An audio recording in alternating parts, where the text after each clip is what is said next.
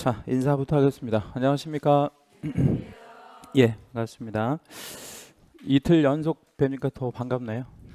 예, 그래요. 어제는 그 잘들 주무셨나요? 예. 숙제도 좀 해오셨나요? 아, 예. 몇 개나 맞추시나요? 100개에서? 80개? 예, 그래요. 80개 맞으시면 엄청 잘한 거네. 예. 그래요. 자, 우리 이제 오늘 그 수업은 28페이지인 것 같은데요, 보니까. 예, 28페이지에 노마자 이번에 부동산 거래 신고 사항부터 보도록 하겠습니다. 27페이지, 예, 27페이지. 예, 뭐 그걸 화를 내실 필요는 없고요. 여기 전자출판에 28페이지라고 돼 있습니다. 예.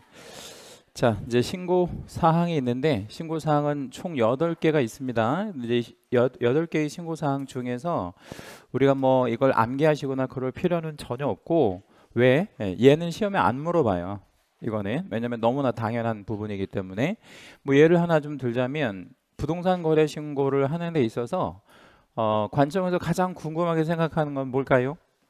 요거죠. 어, 실거래 가격. 뭐 이건 뭐 너무나도 당연한 부분이라서 이런 건 출제를 하지 않습니다. 아, 요거 7번은 하나 이렇게 그 신설된 거라서 한 번만 좀 읽어 봐 드릴게요. 매수인이 국내에 주소나 또는 거소를 두지 않을 경우에 위탁 관리인의 인적 사항을 적어라 뭐 이런 얘기인데 뭐 예컨대 이제 외국인 같은 경우에는 계약을 하고 그냥 자기 나라로 가버리는 경우도 있잖아요. 등기라는 게 없는 나라도 있고 그러니까 그래서 어, 위탁 관리인을 하나를 만들어서 연락이 안 될 때 연락을 할 수 있도록 뭐 그런 위탁 관리인을 하나를 만들어 놔라 뭐 이런 의미로 어, 알고 계시면 되겠고요. 이 출제는 여기서 되는 게 아니라 요 표에서 나와요. 요 표. 그래서 요 표가 좀 중요하고요. 어, 32회 본 시험에 여기서 이제 문제가 최근 문제로 나왔는데 어, 좀 잘못 냈어요. 그 출제를. 네, 그래서 이제 결국에는 어, 복수 정답으로 이렇게 처리를 해주기도 한 그런 부분인데 좀 까다로워요. 복잡하기도 하고 자 이제 취득하는 부동산이 주택일 때 토지일 때 두 가지로 나누고요. 주택을 법인이 취득할 때 개인이 취득할 때 이렇게 이제 나누거든요. 근데 이제 우리가 가장 일반적인 거는 토지 사는 게 일반적이에요? 아니면 주택 사는 게 일반적이에요? 주택 그리고 법인이 사는 게 일반적이에요? 아니면 개인이 사는 게 일반이에요? 그러니까 우리가 개인을 낼 수밖에 없죠, 그죠? 여기 가장 일반적인 거니까 여기서 네 칸 중에서 요 칸이 가장 일반적이니까 그럼 개인이 어, 그 주택을 음, 취득했을 때 자금 조달 계획이라는 거를 어, 써내야 되고 그 다음에 그 자금 조달을 뭐 하는 서류도 또 내야 돼요. 증명하는 여기다는 우리 채색 하나만 좀 잡아 주시고요. 네, 자금 조달을 증명하는 서류. 예컨대 대출로 어, 대체하기로 했다. 대출로.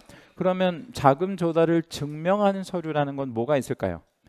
대출 확인서 어느 금융기관에서 대출 받았는지 이거를 써내라 이거예요. 예, 그리고 또 하나는 이제 이용 계획.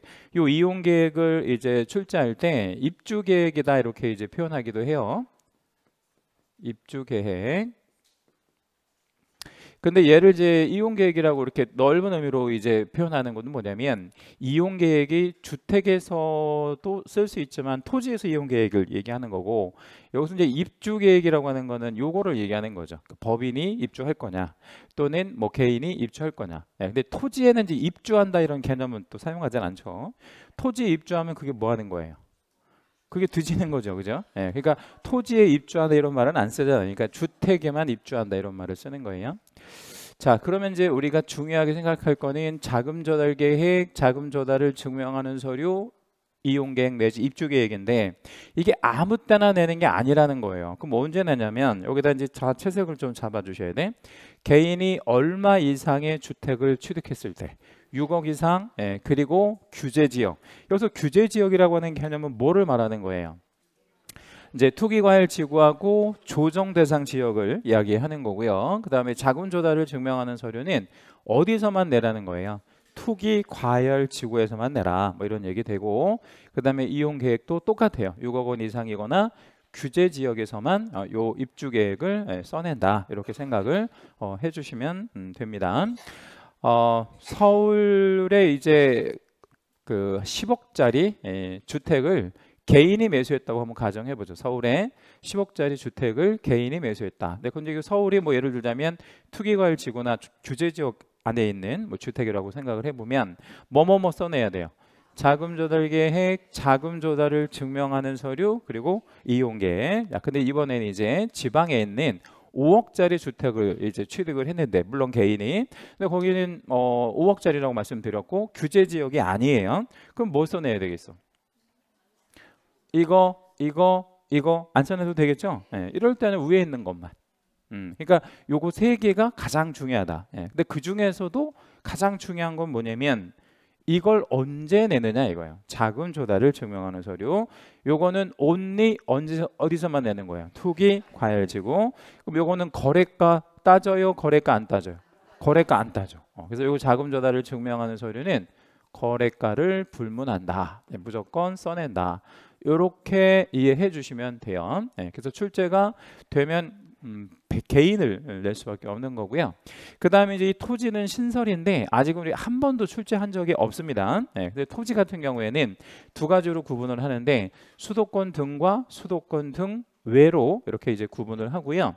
여기서 수도권 등이라고 하는 표현이 여기 있는데 밑줄 한번 잡아볼게요. 전체 수도권 등이라고 하는 거는 일단 수도권 들어가요. 수도권은 어디 어디 어디가 수도권이에요. 서울, 경기, 인천 요세 개를 이제 수도권이라고 얘기하고 수도권 정비계획법상 광역시는 인천을 제외한다 이렇게 돼 있죠. 그 여기는 왜 제외하는 거냐면 수도권에 들어가니까 네, 그러면 수도권과 인천 제외한 광역시와 특별히 뭐까지 포함하는 개념이에요. 세종시까지 이렇게 특별히 포함해서 수도권 등이라고 얘기하고 요거 제외하면 다 뭐에 들어가는 거예요? 수도권 등 외에 들어가는 거죠. 자 그러면 이 두 가지로 나눠서 얼마짜리 얼마짜리 이 금액만 좀 기억할게요. 1억짜리, 6억짜리. 예. 자, 우리 그럼 김포는 얼마짜리 토지 취득했을 때 자금 조달 계획하고 이용 계획을 손해야 되겠어요? 1억 이상이지. 예, 1억 이상. 음, 그렇죠? 예, 그렇게 여러분 정리해 주시면 돼요. 그러니까 여기 토지에서는 숫자만 좀 기억합니다. 1억과 6억이다. 이렇게만 정리해 주시면 되겠고요.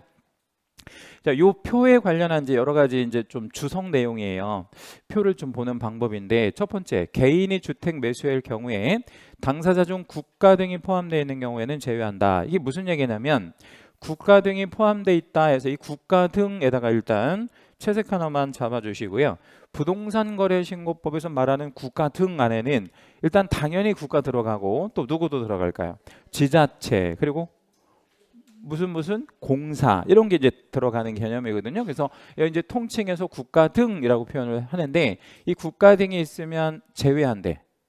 그러면 국가 등이 일방 당사자면 이런 걸 써내지 않는다는 얘기가 되겠죠, 그죠? 네, 뭐 그렇게 여러분 좀 정리해 주시고 이게 법 조문이고 그 다음에 두 번째 법인이 주택 거래한 경우에 법인의 현황 여기서 이제 법인의 현황에다 밑줄 한번 아, 채색 한 번만 해주실 건데 이 법인의 현황이라는 거는 뭐 하는 법인인지 알려달라는 거지. 그러니까 이제 관청에서 봤을 때 어, 주택을 취득 필요한 법인인지 아닌지 뭐 이런 걸 이제 어, 보겠다는 거죠. 우리 1인 혼자서 주식해서 만들 수 있어 없어요? 있죠. 근데 혼자서 주식회사를 만들고 주택을 막 한 10채, 100채 이렇게 구입을 하는 거예요. 그럼 그거는 누가 보더라도 투기의 목적이잖아. 네, 그런 걸 보겠다는 거죠. 그래서 법인의 현황도 당연히 예, 신고를 해줘야 된다라는 거 기억해 주시면 되겠고 규제 지역은 투기과열 지구하고 도종 조성 도종 조정 대상 지역을 의미하고 자 밑에 문제 주택을 법인이 매수하는 경우와 법인 외의자가 여기서 법인 외의자라는 표현을 본 시험에서 출제하면 개인을 말하는 거예요. 예, 그러니까 뭐 외의자 법인 외의자 그러면 개인이에요. 예, 그래서 법인 외의자가 매수하는 경우에는 부동산 거래 신고 사항이 다르다. 당연히 달라요. 어, 왜 다르냐면 이런 것 때문에 법인의 현황 같은 거 어, 이런 것 때문에 예, 당연히 다릅니다. 자, 그 다음 요거 밑에 거는 별을 좀 하나만 잡아 주시겠습니다. 부동산 거래 신고 하려는 자 중에 음, 밑줄 자 부동산 거래 신고를 하려는 자라고 했거든요. 이렇게 한번 빼볼게요. 원래 부동산 거래 신고는 원칙 누구 예외 누구 원칙은 거래 당사자 예외 개공이잖아요. 근데 여기서 이제 이 하려는 자가 개공일 수 있어요 없어요? 있죠. 뭐 개공이라고 우리가 가정을 한번 해볼게요. 근데 이 중에 매수인 외의자가 그러니까 우리 개공은 매수인 외의자잖아. 우리는 중개를 해주는 입장이니까 어, 자금 조달 계획과 입주 계획서를 제출하는 경우에 예, 어, 그러면 이, 이거를 매수가 써야 돼 아니면 중개한 개공이 써야 돼. 매수가 써야지. 예, 그럼 이거를 중, 어, 신고하려는 개공한테 줘야 될 거 아니에요. 예, 그걸 얼마 안에 이걸 줘야 되느냐? 체결일로부터 25일 내에. 자, 그러면 자금 조달 계획 어, 그다음에 그 입주 계획 이거를 누가 개공한테 25일 안에 줘라. 매수인이 25일 안에 개공한테 줘라. 뭐 이런 얘기고. 그러면 개공은 이거를 며칠 안에 이거를 제출을 해야 되겠어요. 그러니까 30일 이제 체결일로 따지면 그리고 이제 이거 받은 날로부터 따지면 5일의 여유가 아, 이렇게 있게 되는 거죠. 그래서 만약에 이 기간 내에 그러니까 이 기간이면 며칠을 말해요. 25일 안에 안 주면 매수인이 안 주면 그럼 개공은 이걸 제출을 못 하잖아요. 예, 그럼 어떻게 해야 되겠어요? 음, 그러면 이 기간 안에 예, 만약에 매수가 안 주면 그냥 개공은 이거 없이 신고하는 거지. 이 위에 것만 우리 그 공통적 신고 사항만 신고하고 매수인이 별도로 이거를 제출해야 되는데 이 매수인이 별도로 제출할 때는 며칠 안에? 이거는 30일이에요. 왜요? 원래 30일 안에 내는 거야. 근데 이거를 누구한테 줄 거면 개공한테 줄 거면 25일 안에 줘라. 뭐 이런 의미로 어, 이해하시면 됩니다. 여기 25일에다가 우리 별 하나만 잡아주시고요. 그러니까 두 가지 방법이 있대 선택지가. 그러니까 매수인 본인이 내든가 아니면 개공한테 주든가 이렇게 이제 할 거예요. 자 신고서 작성 방법이 있는데 여기다 우리 별 두 개 잡아주시고 여기는 출제가 100% 이루어집니다. 그러니까 이거는 뭐 안 낼 수가 없어요. 안 낼 수가 없는 너무나도 중요하다. 자, 첫 번째 거래 계약의 종류가 공급 계약 또는 전매 계약일 때 여기다 채색 하나만 잡아주시고요. 공급이랑 전매 계약에서 이제 공급은 지난주 살짝 말씀드렸는데 최초로 부동산을 만들어서 공급하는 거라 그랬죠. 그러면 없던 물건을 만들어서 공급하는 거기 때문에 어, 뭐가 발생해요? 부가가치세가 발생이 되죠. 그리고 그거를 그 공급받은 지위를 대파는 거니까 어 뭐 이때도 전매 계약은 대파한단 말이에요. 이때도 어 뭐가 발생이 되냐면 부가세가 발생이 돼요. 그래서 여기다 보면 어 여기도 채색 잡아 주셔야 돼. 부가가치세가 아 발생한다. 그래서 여기는 뭐 한다라고 표현하는 거예요. 포함한다. 이 포함한다는 게 뭔 말이에요? 발생한다, 부가세가 생긴다, 뭐 이런 얘기 예, 되는 거죠. 그러면 그 외의 거래 대상, 여기서 그 외의 거래라고 하면 공급과 전매를 뺀 거잖아요. 우리 그러면 그 어저께 어, 우리 신고 대상 물건 세 개와 그 계약 신고 대상 계약 두 개 우리 배우셨잖아. 근데 물건 세 개가 뭐였지?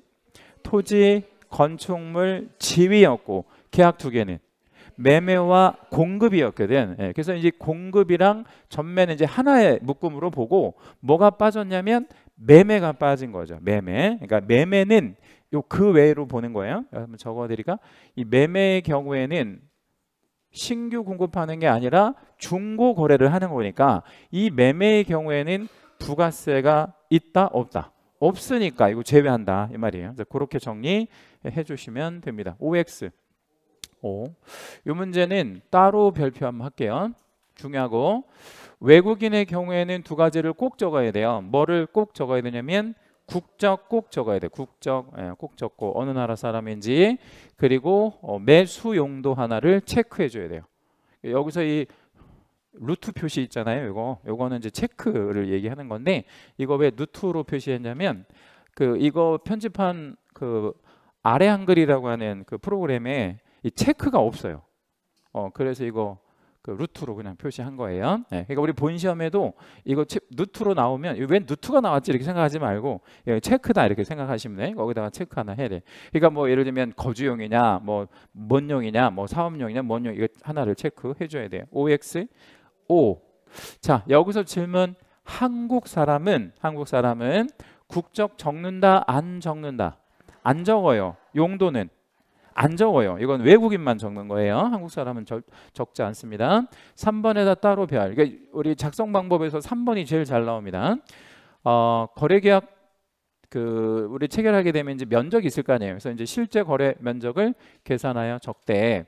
건축물의 어, 경우에는 집합 건축물이 있고 그 밖에 건축물이 있을 거 아니에요.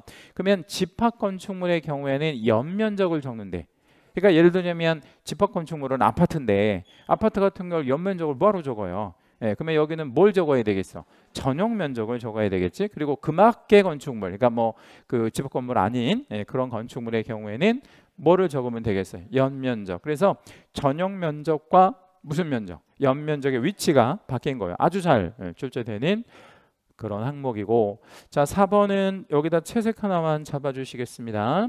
여기까지. 예. 종전 부동산이라는 말을 썼는데 이 종전 부동산은 원래 부동산을 얘기하는 거잖아요. 노후 불량화된 거. 그거를 어, 가지고 있는 사람은 입주권을 갖고 있는 거예요. 아니면 분양권을 갖고 있는 거야. 입주권. 음, 여기다 따로 별도 한번 할게요. 요 입주권 자리가 특별히 중요하다. 그러니까 무슨 얘기냐면 분양권은 종전 부동산을 가지고 있는 사람들이 아니라는 거예요. 그러면 뭐만 종전 부동산이 있는 거야? 입주권을 갖고 있는 사람들. 예, 그래서 그 입주권을 갖고 있는 사람들이 종전 부동산의 소유자들일 텐데 이 종전 부동산의 사이즈가 클 수도 있잖아요. 그러면 무슨 가격이 좀 높아? 권리 가격. 어, 그럼 이게 높아지면 뭐는 좀 줄어들어. 추가 지급액이 좀 줄어들지. 예, 그러니까 내가 뭐 한 50평을 갖고 있어요. 그럼 권리 가격을 뭐 가령 뭐 20억을 뭐 우리 산출했어요. 그러면 내가 낼 돈은 그만큼 줄어들고 오히려 또뭐 음, 돈을 돌려받거나 아니면 뭐 예컨대 아파트를 두 개를 받는 경우도 있고 뭐 그렇죠. 어, 노량진이라는 동네가 있어요. 노량진. 예, 근데 노량진도 이제 재개발을 어, 지금 뭐 1구역에서부터 7구역인가 거기까지 나눠 가지고 좀 하고 있는데 거기에 바닥 면적이 한 50평 넘어가는 그런 뭐 단독주택 갖고 있는 사람도 있을 거 아니야. 예, 그런 사람들은 아파트를 두 채를 받는 거야. 뭐 30평대 하나, 20평대 하나 이렇게. 그거는 뭐가 높아서 그런 거야? 권리 가격이 높아서 그런 거죠. 뭐 그런 음, 것들을 쭉 적으래요. OX 5, 어, 요 5. 네, 포인트는 여기 이제 중요하고 함정을 건다면 여기를 분양권으로 건다라는 거 알고 계시고 그 다음에 5번 계약의 예, 조건 및 창구 사항 뭐 있는데 어, 조건하고 기한이 있으면 조건하고 기한 같은 것들을 적어준다. 이게 이제 34회 때 한번 나왔던 거라서 또 나올 수 있을 것 같아서 한번 넣어놨어요. 이거 조건하고 참고사항이 있으면 적어주는 게 맞는 표현입니다. 알고 계시고요.